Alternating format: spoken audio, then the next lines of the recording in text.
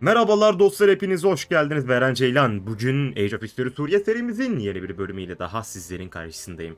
Geçtiğimiz bölümde mülteci özel harekat olarak Türkiye'ye savaş ilan etmiştik ve bu savaş ilanının ardından Türkiye artık tamamıyla Suriye toprağı olmuştu gördüğünüz üzere efendim. Ve şu anda elimizde İtalya Mülteci Cumhuriyeti ve Yunanistan Mülteci Cumhuriyeti bunlar bizim vasalımızdır. Şu anda gördüm ki Yunanistan Mülteci Cumhuriyeti bize karşı isyan ediyormuş. Hemen kafasına vuralım abi. Daha şimdi gördüm. Hemen onları annexleyelim. Şimdi efendim sizlerden yoğun talepler geldi. Dediniz ki eee, bizim ordumuzun adı mülteci özel harekat olsun yorumlarda bunları yazmışız. Nargile özel harekat olsun diyenler de var. Eee, onun dışında ise biz neden Suriye kalıyoruz artık Türkiye'yi de ele geçirdik. Bizim ismimiz niye Suriye kardeşim artık Nargile Cumhuriyeti'ni kuralım diyenler olmuş. Ve ben de saygıdeğer kıymetli halkımın, kıymetli vatandaşlarımın tabii ki de her zaman olduğu gibi bugün de taleplerini değerlendiriyorum ve uygun alanları kabul ediyorum. Efendim ordumuzun adı sizlerin talebiyle mülteci özel harekat olacak. İkinci olarak ise devletimiz artık Nargile Cumhuriyeti'ne dönüşecek. Şurada bayrağımızda görebilirsiniz ortasında bir nargile e, fotoğrafı yerleştirdim ve bence gayet güzel oldu artık. Yeni ismimiz bu. Şimdi Suriye'yi de, Suriye'yi diyorum Yunanistan'ı da e, topraklarımıza kattığımızda sınırlarımız daha iyi olacak. Şimdi bu bölümde ne yapacağız? Nargile Cumhuriyeti olarak yeni bir devletiz. Yeni bir ismimiz var ve bu devlet olarak yeni kararlar almalıyız bence. Bence yeni kararlar almalıyız ve bu arada devletimiz demokrasi oldu diye düşünüyorum. Evet demokrasi olmuş. E, yatırımları şöyle. Yani ben yatırımları azaltmayacağım demokrasi olduk diye. Daha doğrusu arttırmamız gerekiyormuş da. Mallara yatırımları falan arttırırken vergileri de düşüreceğim abi. Hatta biraz daha vergileri düşürebiliriz. Şu an gelirimiz zaten oldukça iyi. Yatırımlara her zaman devam edeceğiz abi. Vatandaşımız bizim vatandaşımız her zaman yatırımlardan faydalanacak abi. Bunun nasyonalizmle alakası yoktu biliyorsunuz eski ideolojimiz nasyonalizmdi. Ee, orada biraz mallara falan daha fazla yatırım yapılıyordu. Şimdi efendim yeni amacımız ne olacak? Uzun lafın kısası artık amacı söyle diyebilirsiniz. Nargile özel hareket pardon Nargile özel hareket değil mülteci özel hareket olarak yeni hedefimizi bekliyor. Bekliyoruz diyebilirsiniz. Abi yeni hedefimiz burada. Şu gördüğünüz yeşillik bizim yeni hedefimiz abi. İran. Kendisi bizle kötü ilişkilere sahip. Biz de onu seviyor sayılmayız. Kendisini topraklarımıza katmak için gereken orduları basıp İran'a hücum edeceğiz. Şu anda Devlet Aliye Almaniye İran ile savaştaymış. Ee, ancak yıkılmanın eşiğinde Polonya onu dövüyor.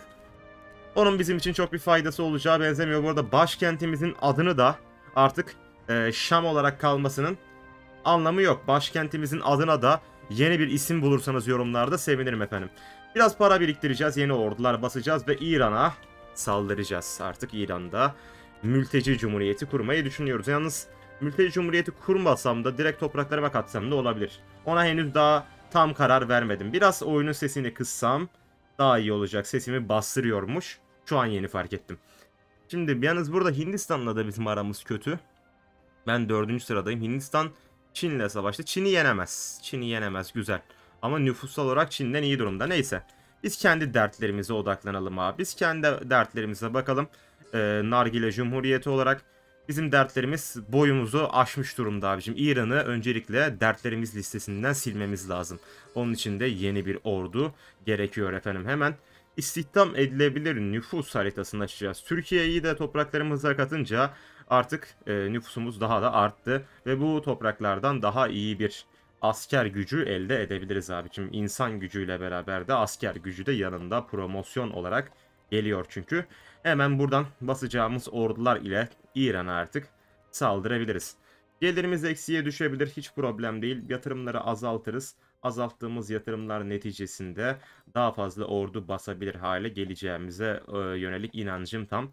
Başkentimiz Şam'da bir ikmal kampı inşa edilebilir. E, ordumuzun şeyini e, e, ekonomi olan etkisini azaltmak için bir ikmal kampı yapabiliriz. Şu an yatırımları düşürdüm. Biraz da vergileri arttırdım saygıdeğer halkım. E, merak etmeyin bunlar yine eski haline dönecek. Ama savaş ekonomisi denen bir şey var efendim. Artık savaşa gireceğimiz için e, buna göre hareket etmemiz lazım ve savaşa hazır olmamız gerekiyor. Onun için de para lazım bize ve şu anda biraz Yani birazcık sadece e, yatırımları azaltıp vergileri eski haline döndürdük. Ama saygıdeğer vatandaşlarım merak etmeyin. Mülteci özel harekatı e, operasyonunu bitirdikten sonra mülteci harekatı İran operasyonunu yollayıp o operasyon bittikten sonra e, tabii ki de vergiler eski haline dönecek, vergiler düşecek ve yatırımlar zirveye her zamanki gibi gidecek abi. Biz Nargile Cumhuriyeti olarak vatandaşımızın huzurunu, refahını, ferahını düşünen güzel bir devletiz ve böyle bir devlet olmaya da devam edeceğiz. Merak etmeyin saygıdeğer vatandaşlarım hiç problem değil. Hiç problem değil.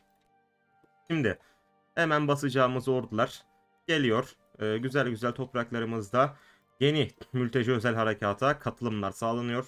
Bu da beni zaten mutlu ediyor abi. Baksanıza bu orduya bu kadar yoğun ilginin olması bizi mutlu ediyor abicim. Hemen ordularımızı şöyle burada toplayalım. Aksaray'a gidin hemen hocam.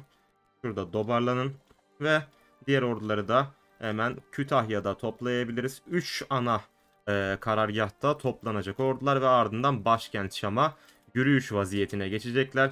Başkent Şam'a geldikten sonrasında ise artık yeni hedeflerinin neresi olduğunu zaten biliyorsunuz abicim. İran'a doğru gidecekler ama henüz ordu sayımız yeterli değil abi. İran'ın e, oldukça büyük bir ekonomisi olduğunu unutmayalım ve biz de böyle bir ekonomili devlete karşı e, büyük bir orduyla gitmemiz gerekiyor.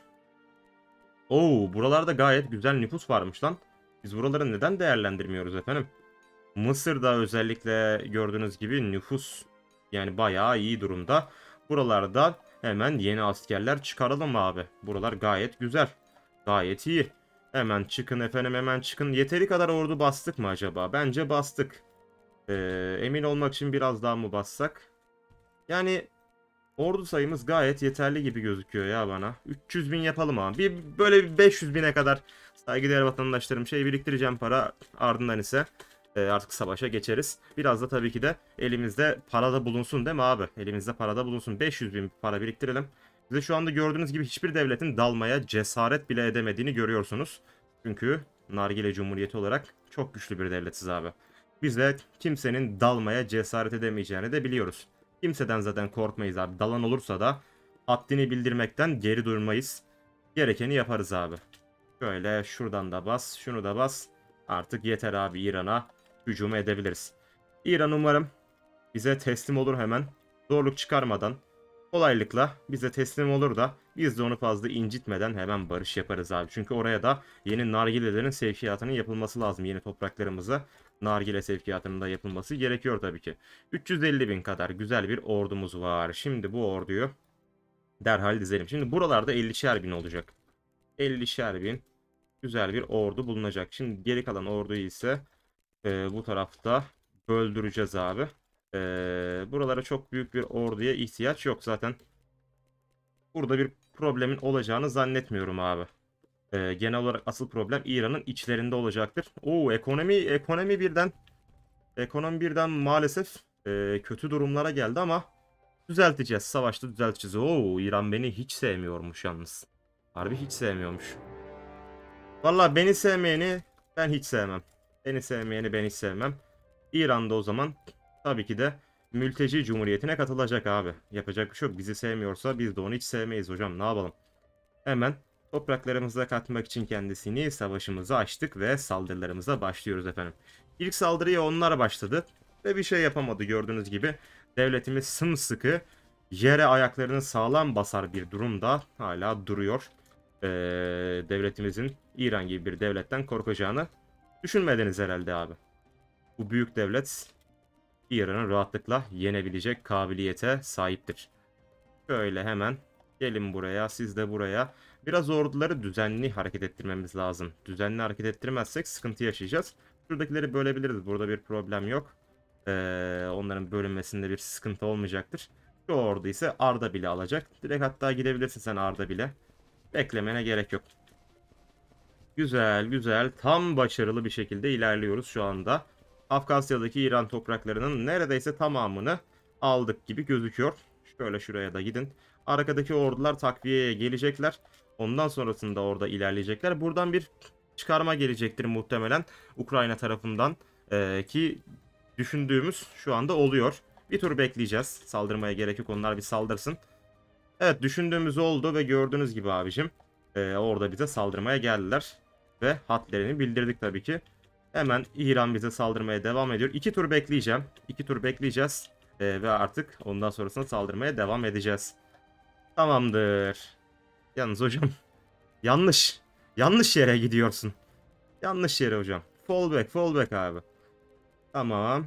Güzel. Güzel. Güzel. Kötü. Kötü. Şuraya 10.000 yolla. Şuraya da bunu yolla. Bu orduyu iki hatta böleceğiz. Üç hatta bölersek orada sıkıntı yaşayacaktır. Gördüğünüz gibi İran'da herhangi bir problem yaşamadan, herhangi bir sorun yaşamadan rahatlıkla ele geçiriliyor abi İran. Mükemmeliz ya. Bu işte bizim devletimizin kudreti. Kudret böyle bir şey efendim. Oh güzel. Şu anda buradaki ordularımız da düzen aldılar. Ee, gayet güzel bir şekilde ilerlemeye devam edebiliriz. Siz de hocam şöyle buraya ilerleyin. Siz buraya ilerleyeceksiniz. Ee, akabinde ise bu ordu buraya. Buraya 3000 kişiyle bir dön. Tamam. Yalnız bunu ileriye atalım abi. Gerek yok. O tarafa kaymasına gerek yok. Güzel İran'ı güzel bir şekilde yenmeye devam ediyoruz. Şu anda ordularımız herhangi bir sıkıntı yaşamıyor. Herhangi bir aksaklıkla uğraşmadan rahatlıkla düşman topraklarında egemenliği sağlayabiliyorlar. Ee, Ukrayna taraflarından bir çıkarma daha gelecek mi diye tedirginlik yaşasam da gelecek bir çıkarmanın bizim mükemmel ordularımız tarafından bastırılacağını bildiğim için herhangi bir sıkıntı, tedirginlik şu anda yaşamıyoruz abi. Saldırılarımıza son sürat devam edelim. Güzel bir şekilde. İran'ın %40'ını ele geçirdiğimiz şu anda görülüyor. Yalnız İran burada hala büyük bir güç ama oradaki toprakların bizim için herhangi bir kıymeti yok. Bizim için önemli olan yer buradaki topraklar. Kıymeti olan yerler bizim için bunlar. Oradaki topraklar bizim için büyük bir öneme sahip değil. Hatta öneme sahip değil desek yalan olmaz. O yüzden buraları alacağız efendim. Buraları alacağız. Ee, şuraya gidin. Siz de buraya gidin. Siz de şöyle düzenli ilerleyişimize devam edelim abi. Çünkü ordunun en önemli gücü düzenidir. Düzeni bozulan bir ordu disiplinsiz kalır. Disiplinsiz bir ordu ise zafer kazanamaz. Biz ise her daim düzenimizle düzgün bir şekilde ilerlemeye devam edeceğiz. Yalnız şuradan gelecek bir çıkarmayı tahmin edememiştik. Ee, Ukrayna tarafından bir çıkarma geleceğini planı e, biliyorduk ama buradan bir çıkarma geleceğini düşünemedik. Ve bu da bize pahalıya mal olacak. Birkaç tura mal olacak abi bu. Ordularımız derhal gelsinler abi şu tarafa. Ee, siz de hocam şuradan geriye gidebilirsiniz. Buradaki ordular zaten buradaki toprakları almak için yeterli güce sahipler. Gerekeni yapacağız hemen abi. Hemen gerekeni yapacağız şüpheniz olmasın. Ordumuz zaten denize indi. Ve bu ordu da ilerleyecek. Evet. Oradaki çıkarmayı engellediğimi düşünmüştüm ama yeterince engelleyememişiz. Ee, ama şu anda hallediyoruz abi. Hallediyoruz. Son bir turumuz kaldı. Bir tur sonra bizim için İran Savaşı artık sonlanacak. Eğer başka bir yere çıkarma yemezsek tamamdır. Güzel. istediklerimizi başardık. İran'ın %58'ini ele geçirdik. Ve bu 58 bizim için kafi. Geri kalan kısmını da istemiyoruz zaten. Ee, ama yıldız puanı İran'ın tamamını almak için yetmiyor. Ee, maalesef yetmiyor. Şuradan şöyle alacağız. Keşke daha fazla yıldız puanımız olsaydı da İran'a bir kez daha saldırmasa, saldırmamız gerekmeseydi. Ama maalesef bir İran savaşının daha yaşanacağını görüyoruz abi. Bir İran savaşı daha yaşanacak çünkü yıldızımız yetmedi hocam tüm İran'ı almaya. Maalesef yıldızımız yetmedi. 311 bin kişilik devasa bir ordumuz hala bulunmakta ve bu ordu başkent Şam'a geri dönecek. Şu anda bir savaş ilan edildiğini görüyorum Hırvatistan tarafından bize. Hangi hatla, hangi cesaretle e, ilan etti bilmiyorum ama kendisini büyüklüğümüzden dolayı affediyoruz abi. Affedelim çocuğu yazık gariban. Bence o da ne yaptığını bilmiyor. E, çünkü ne yaptığını bilseydi muhtemelen bu işe kalkışmazdı diye düşünüyorum. E, o yüzden kendisini affettik abicim. Affetmek de büyüklüktür. Biz de büyüklüğümüzü Nargile Cumhuriyeti olarak gösteriyoruz abi. Şuradaki toprakların da asimile edilmesi gerekiyor tabii ki. Hemen oradan da ordularımızı çekelim. Güzel. Şimdi efendim size verdiğim sözleri yerine getireceğim. Yatırım ve vergi indirimlerine hemen geçelim. Vergi indirimleri şöyle. Biraz yatırım, biraz araştırma. Ee, biraz da mallara şöyle yatırım yapalım. Bunun e, gerçekleşmesi için de yaklaşık 50 bin kişilik bir orduyu e, hatta bir 71 bin kişilik hatta dur 71 bin 374 kişilik orduyu da silersem bizim için yeterli olacaktır diye düşünüyorum. O gelir zamanla artacaktır para bitene kadar. E, gayet güzel. Şu anda devletimiz İran'ı da artık egemenliği altına aldı. Hindistan'la olan ilişkilerimiz kötüleşiyor. E, Hindistan Çin'i nasıl yeniyor bilmiyorum. Çin aa Çin'in yenilmesi normal. Neden normal? Çünkü Rusya ile ile Rusya devleti ile de savaştaymış. Bizim Rusya devleti ile müttefiklik anlaşması yapabilirmişiz. Ee, ancak gerek var mı böyle bir duruma? Herhalde gerek yok abi yani Rusya ile müttefik olup ne yapacağız? Avrupalı devletler ise bizi hiç sevmiyor.